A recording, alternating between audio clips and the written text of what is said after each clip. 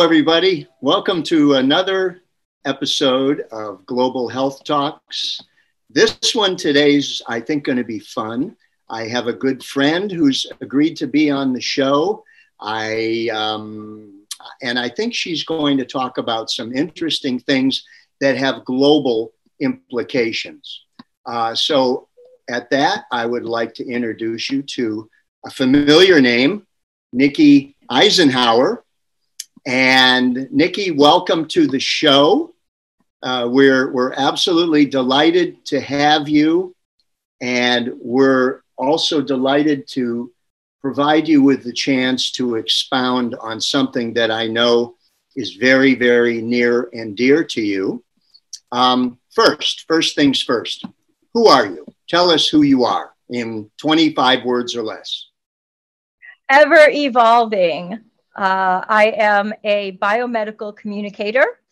That uh, makes me a lover of innovation across many medical fields uh, and a researcher as well. I find myself delving into various conditions, especially in autoimmunity, uh, the military medical uh, conditions that are specifically related to deployments some of which don't happen on deployment, which is pretty interesting. They happen afterwards. Uh, so there's that's that's me. I, I'm military family. I'm a former military significant other. I get a little bit involved in some other parts of things that you might like, like Intel and things like that, a little bit, like your mom. So yeah, yeah. that's that's me. I'm a, I'm a little bit of uh, a a jack of all, a lover of all trades, a participant in none, but passionate studier and promoter of the best. Well, you know, thank you, Nicci. I, I think you have a lot of very interesting um, observations through that to uh, to uh, uh, give us. Can you tell us what is this thing called AIMS? A I M S. Well, thankfully, it's not only my brain. The whole idea behind AIMS is collaboration. So you asked that question just beautifully, Mike. Uh, having noticed that we had a great deal of disconnectedness in the military community, the whole thrust behind AIMS is to bring us together as individual professionals with knowledge and as in any other professional organization you show up as see, professional organization being keywords right there. We're like an american medical association or a business league.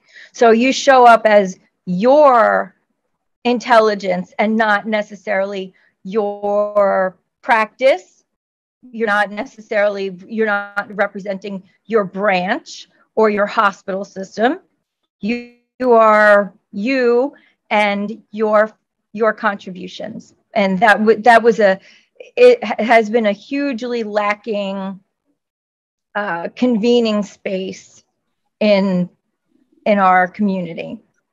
Well thank you. I mean now we've sort of gotten to the solution ahead of the problem. So what i really want you to expound on if you can is what are the challenges that traditionally, and then we'll get to the later challenges with recent events and whatever, but what are the traditional challenges that confront the military when transferring back into civilian society? That has been an evolution, Mike. It's never been easy. There was a time when our service members just didn't talk about it. Yeah. That was back when people called it things like shell shock or battle fatigue, et cetera, et cetera. And to be very clear, trauma and transition issues are not the same thing. They're not mutually exclusive either. They're two different things that can most certainly exacerbate each other. And so, as we've come through World War II, where everybody, I mean, World War II, we were, we actually drafted people who were 60 years old or younger. Everybody went. So yeah. everybody who came home understood it. All the family members understood it. Then here we have Korea and Vietnam and how we treated those veterans. And then there was a big gap. And you it's hard to think of a time in history where there's lack of conflict as causing problems for our veteran space and veteran support. But what it did was it broke the continuity. So the, the Vietnam veterans were treated likewise by the v, by the VSOs, by the veteran service organizations like American Legion and VFW. They were treated by those organizations the way they were treated by the public. They were shunned. They were kept out. That's why we have Vietnam Veterans of America. They had to advocate for their own. Uh, well, so then we had a big gap, and so it, it just evolves and evolves and evolves. It's a very psychologically jarring experience because you, you come yeah. from an independent life, you grow up unfettered, and then at some point, either electively or by drafting, you're brought into a setting where you're told to engage exactly the opposite psychology. Put on the uniform, lose your individuality, here's your gun, um, and you now take orders. And honestly, for some, that can be a wonderful discipline for then returning to civilian life and going into business. There are many, many successful military people who come back into business and are absolutely thrilled and delighted for a, a brief uh, stint in the service. However, for many people, they seem to be lost. They seem to, this is too much to go from freedom to dedicated service and back to freedom without so much as a thank you. And um, so I guess if you could, I, if you could extrapolate a little bit further out, Nicci, what are some of the international implications now, uh, without overly politicizing, but but discussing, right. for example, Afghanistan? Um, what are those unique subset of issues that really, really are screaming for an organization like AIMS? Oh, well, that's that's where when I say what in the world is it that I'm supposed to do, people say, "You, lady, you tell truth to power. That's your job." okay, great. We're happy to do that. We're, this is your chance. Go ahead. Tell truth to power.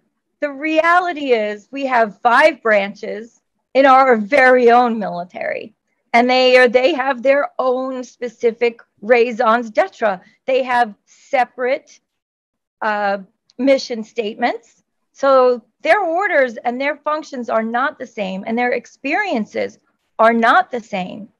And there is almost no way to shoehorn this into any sort of a model except to say that every veterans and service member and family members experience is different, very different, different from one deployment to the next. So the thing, the, the one constant is the lack of constant. And this, I believe, is the biggest barrier that we have not only in the military community, but in our in our in our daily community, in our community in general. We need to look at each other as yes, possibly somebody you could fit into a mold based on some sort of assumptions about their background. But at the end of the day, that's a unique experience right there. And so we across the world, you know, you, you just asked about Afghanistan. Having allies, this has been we've taken a quantum step backwards. I'll be frank. I'll be really honest. Um, the not necessarily the fact that we've pulled out of Afghanistan, but the the the abruptness of it is, and those who have been left behind. this has taken a massive toll on our military community. We are ripped up about this. And how are they, uh, Nicci? If I, I, apologize for interrupting. Um, how is the military community at large? How are they reacting, or are they artificially silent just because? Oh no! What? I am so proud. I am so proud of our former special forces uh, groups. There are a number of groups that are doing different, uh, planning different operations and fundraising to help get people out of Afghanistan who have been left behind. And that's a beautiful thing. That's that's we the people. That's what it says we are supposed to be doing right there in the beginning of you know the preamble to the constitution says to we, that we are each responsible to provide for the common defense yeah. Yeah. and so to see those groups reconvening and saying what isn't getting done? We're going to find find a way to make this happen. And that's so so is AIMS is AIMS and I'm, I'm just trying to put something in a category which may be ever, ever evolving, but is AIMS a glorified American USO? Is AIMS no? Wait, wait, wait, wait, wait. Is AIMS a political lobby?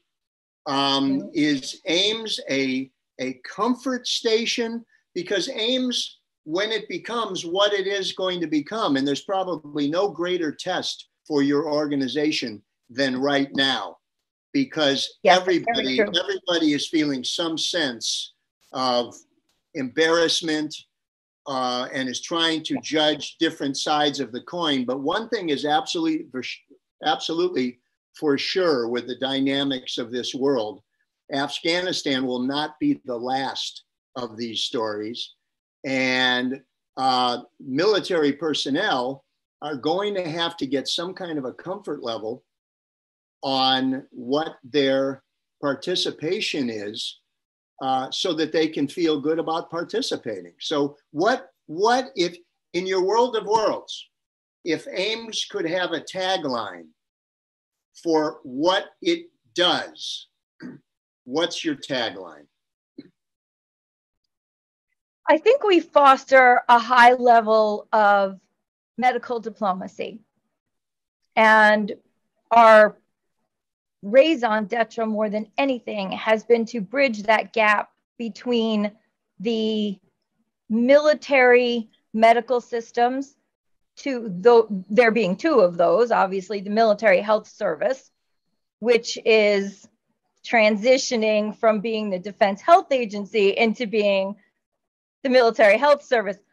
But that's actually a really good thing. And it's taken too long. Most mm-hmm. people had no idea that we had three surgeons general one mm-hmm. for the Navy and the Marine Corps, one for the Army, one for the Air Force. And then you had your surgeons, your surgeon general for the general public. So then you had the, and those surgeons general didn't engage with the VA. So creating the Defense Health Agency in 2015 was a quantum leap for this space, but we are still we're still at the baby steps level. And COVID has unfortunately not helped anything because there's just so much research. It's, it's monumental, and you can spin it almost any way you want to whatever it is you want to prove, just about anything you want to prove for COVID 19, you could prove from the body of endless research that's out there. But this is not the first time our service members are fighting a scenario where we've left our allies. We've been unilateral an awful lot, and that is morale crushing. We are a NATO member. It was my cousin who commanded NATO for the first yeah. time. no, no, no. But we were we were a NATO NATO member, Nicci. That we pulled out of that much to the chagrin of the rest of the neighbors. And the reason for that was that we were paying more proportionately than anybody else was. It's not fair. And I'll just give you a little personal commentary on that. I think you belong to the organization where you can do the most good and where it does the most good for you. And you sort of worry about what it costs later. I mean, that, you know, that to me was really surprising. Um, and I do know, yes, that there are many, many other instances beside Afghanistan where veterans are kind of left to hang out to dry and fend for themselves when they get back. So everything you're doing with the organization is beautifully spirited and it's very, very well intended. And I hope that with this exposure, that maybe we can get some ears in Washington and locally to start realizing that it's not really war that we're bickering over. It's the sacrifice of those who fought the war and how can we say thank you? And so far, we're not saying thank you. So, well, um, we're not saying thank you. We need to say, we need to support it while it's going on rather than saying thank you. Uh, saying thank you is actually not well received by a lot of people. Um, I heard General Mattis actually had a great response to when someone says, Thank you for your service. Thank you for your service. And I love this. I love this. I love this. And I hope that it has two effects. One, we often hear people say, well, it's, it's just my job, right? I, I was doing my job. That's true. But then I love his response. It's say you're worth it. Yeah. Wow. Yeah. Say you're worth it because two things happened there. One, it is a it's a generous response. It's not a response. And if that person hasn't been worth it, they might stop and think a little bit about whether or not they've been worth the fight am I worth the fight? That person just told me I was worth fighting for. Am I stand am, am I living up to that? Because that's how we think. Of course. You come home to a civil society, not where somebody flips you off on the highway, you know, or doesn't let you into traffic or whatever grumbly bumbly thing it is. To yeah. open ourselves up and understand. And see, the thing of it is, is for our service members, they they know everybody bleeds red. You cut and red comes out. Yeah. Yeah. And so when we start talking about who paid more, who paid more? All right, well, let's just talk about it this way. Do you know who lost more service members per capita than anybody in the United States? American Samoa. Mm-hmm. Mm-hmm. So you want to talk about blood and spoils?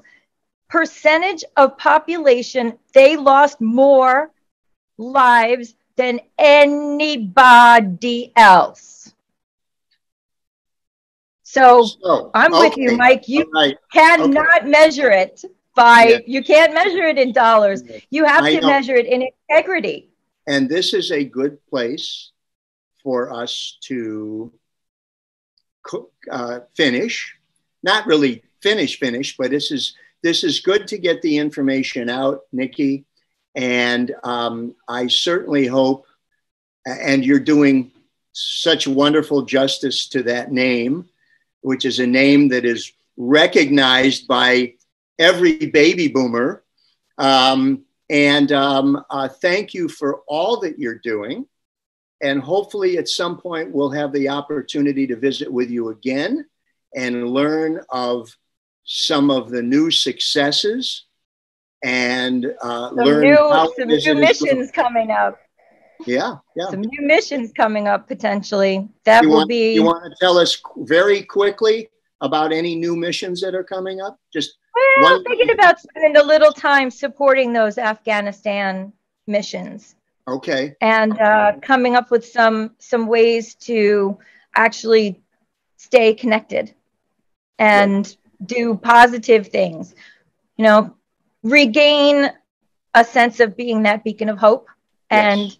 not having left and not having abandoned. And uh, there's actually someone who is a service member who's actually got a a person who's still back in Afghanistan and is in danger. And I look forward to reporting to you that he's been safely brought home. And so those are some of the things that are happening little Nicci, by little. Thank you. Thank you for the goodness of your soul, the kindness of your heart. I know that in addition to doing fine work, you are a great believer in this cause, and I commend you for that. And uh, we want to see you come back soon. I'd love to come back. I, I thank you so much for this opportunity and your passion for this. Your your family goes back a long way. Yeah, yeah. We have a lot of soldiers. Well, so. A lot of soldiers in that family. Yes, you do. I bet you there's right. a few sailors, sailors, air, airmen, coasties, yeah, possibly everybody, also. Everybody. There we go. It's been a, an absolute pleasure, Mike. Thank you so much. Thank you, Nicci.